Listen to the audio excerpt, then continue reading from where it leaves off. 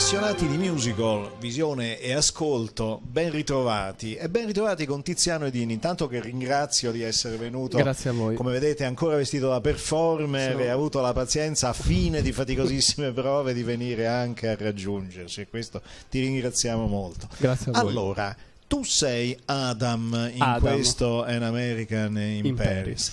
Che Adam, secondo me, comunque è il non so come dire, il personaggio fantasma di Gershwin. Sì, diciamo, eh, nella, oddio, nella versione cinematografica era proprio molto più fisica. Nel musical, oddio, anche nel film in realtà, perché c'ha tutti i monologhi iniziali, Era introduce Oscar le scene- Levant, fra Oscar Levant, grandissimo grandissimo pianista e musicista. musicista, sì. E tra l'altro, amico proprio, conobbe appena Lui- dopo la scrittura del, di An America in Paris, l'opera, eh, ehm, conobbe Gershwin e ci lavorò fino a Sì, sì, sì, fino agli anni 50, vabbè, grandissimo musicista e tutto. Oscar E Wilde. tra l'altro grandissimo attore, perché quella parte fu sì, anche- comicissima. Tra l'altro lui ha inventato in, in- in quel ruolo, ha dato, pare che lui fosse molto caustico, fosse una persona era- con grande era- senso dell'umorismo e questa faccia- è proprio musicista, era, sì, sì, era scapigliato, quindi anche il musical americano e, e poi alla fine anche la tua figura è un po' modellata sul suo Oscar Levant. Eh beh, vogliamo.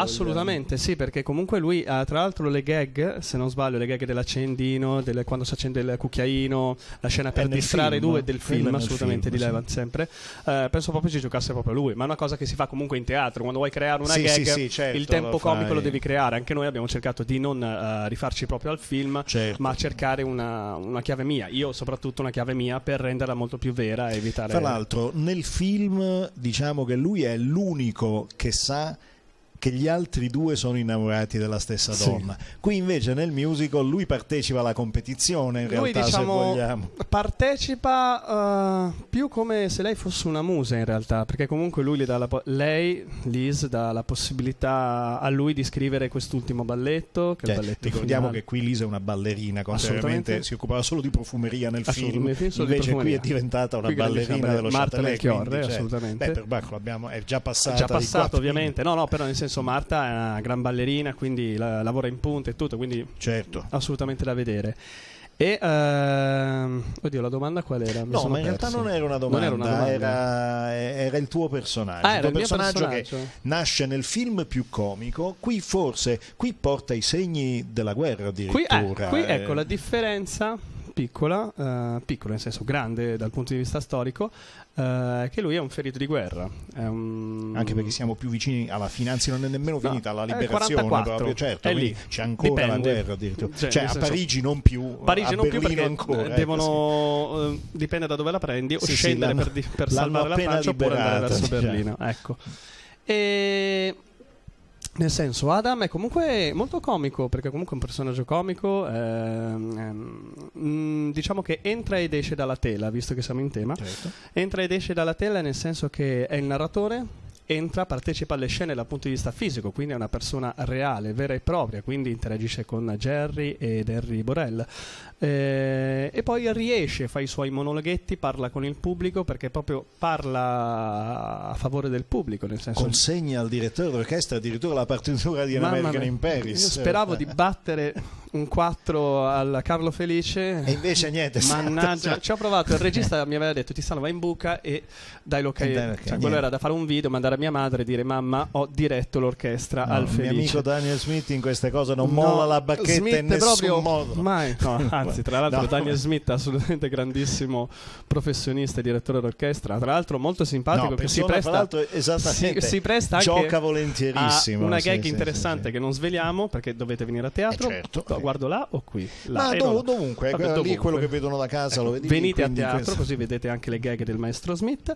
E, che dire, come ti dicevo, entra ed esce dalla tela, rimane comunque un personaggio non fuori dalle righe perché comunque è sempre vero, è E molto comunque, vero e terreno. In questo caso, mentre nel film il narratore era ovviamente Gene Kelly che aveva anche coreografato qui, qui la voce narrante è proprio quella È di Adam proprio di invece. Adam. Sì, Adam eh, è un ruolo strepitoso. Infatti, Federico, quando mi chiese Tiziano, Ho pensato a te come Adam, io non ho visto il musical eh, a Londra né a Broadway, ma ho visto la versione cinematografica che arrivò in Italia il 15 e 16 di marzo, se non Sì, sbaglio. una ripresa che Sì, comunque è una- ripresa. cioè, Tra l'altro finì l'audizione di Chorus Line a Milano e andai subito al cinema per, eh, vedere quel per vedere ruolo. quel ruolo. Tra l'altro c'eravamo al cinema quella sera io e Giuseppe Verzicco. Perché io e Giuseppe... lui stava andando a vedersi il suo. No, perché io e lui eravamo proprio curiosi, Sì, sì, eravamo vediamo che con le nostre visto- fidanzate, abbiamo detto vabbè, andiamo a, vedere- a vedere questo film e allo stesso cinema, perché eravamo lì vicino in zona al teatro,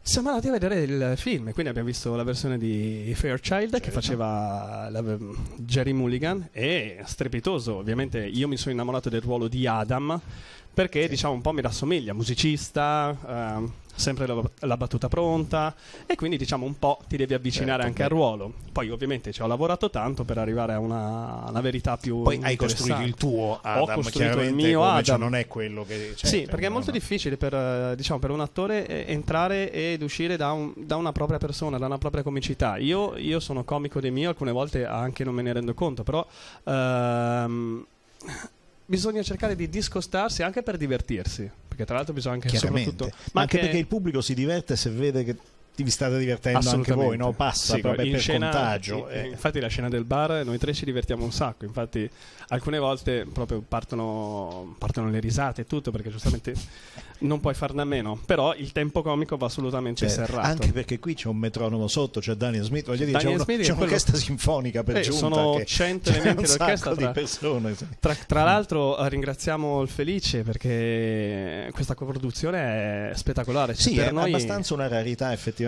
che lo dicevamo anche prima con, con chi- con chi ti ha preceduto.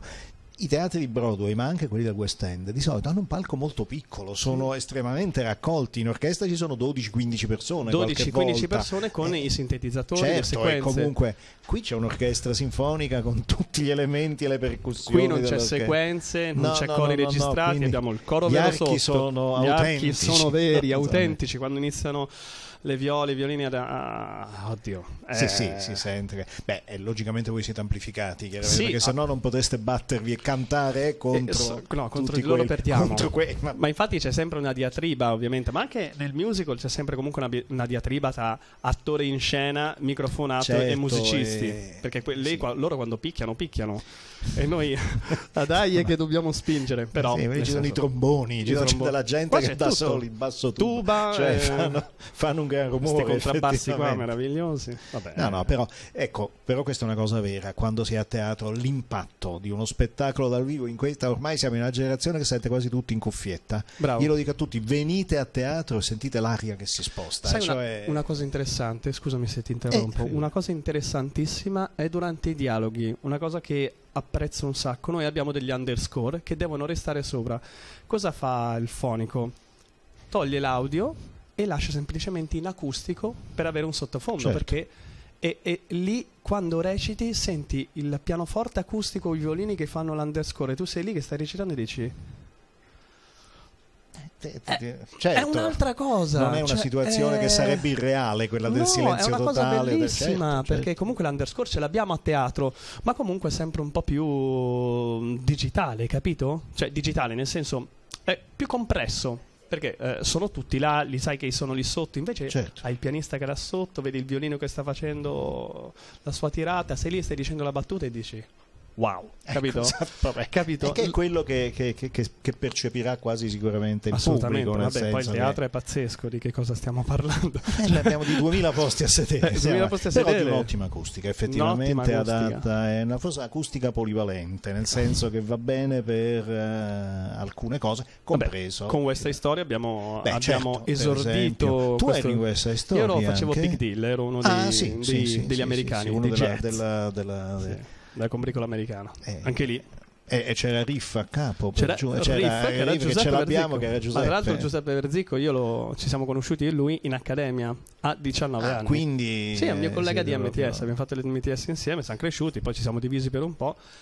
E adesso ci siamo Beh, ritrovati. è bello, questa cosa qua Sì. comunque eh, mi piace. Anche perché, ripeto, qui siamo in una fondazione lirico-sinfonica, il Carlo Felice, eh, però dall'anno scorso, da qualche anno sta aprendo, beh da prima ancora abbiamo avuto Cats, poi abbiamo, eh, adesso quest'anno ben tre musical, c'è anche la ripresa di C'è West anche la ripresa Story, di West e e poi Sunset c'è Boulevard. Sunset Boulevard, Che arriva ad aprile? No, marzo. È l'ultimo Vabbè, dei tre l'ultimo, che, che- facciamo, però Tra l'altro un gioiellino, mamma mia. L'ho quello- visto a Londra, eh, eh, sì, eh, stiamo parlando di Lloyd Webber, eh, Eh, Lloyd Webber, non proprio dell'ultima Vabbè, arrivata. Io ho in mente la. Glenn Close eh, Beh, sì, alla Norma eh, Desmond. certo, quindi- certo, eh.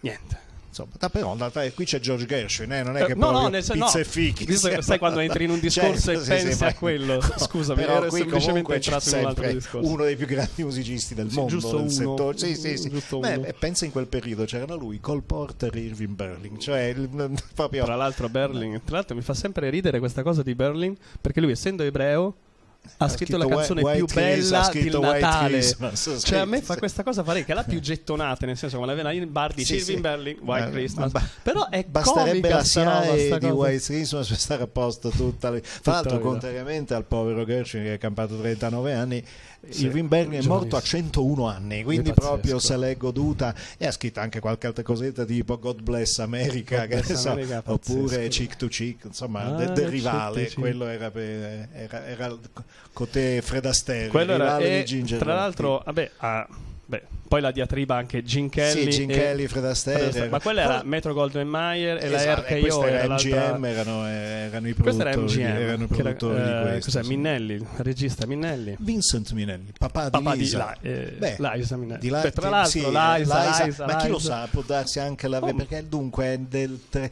no, eh, era prima, sì, No, no, del- scritto- allora, la- il film il è musical della- del 50, girato nel 50, nel 51, il 51 è 51. uscito, l'hanno girato uscito. l'anno prima, Liza Minnelli è del 40, quindi c'era già eh, quando, Quindi nel, lui- nel momento, sì, eh, sì. sì. Eh beh, ma comunque la, la- la- la- la moglie era Judy Garland, voglio dire, insomma, una famiglia lievemente musicale. Vabbè, stiamo parlando un po' dei più grandi. Sì, sì, ecco, no, no, non ci- Quando tocchiamo Senti, quel periodo storico. Noi ti ringraziamo tantissimo. Grazie a essere voi e a Carlo qui, Felice. grazie. E niente, prima però di lasciarci c'è una cerimonia qua Ah, a una cerimonia? sottoponiamo. C'è una firma?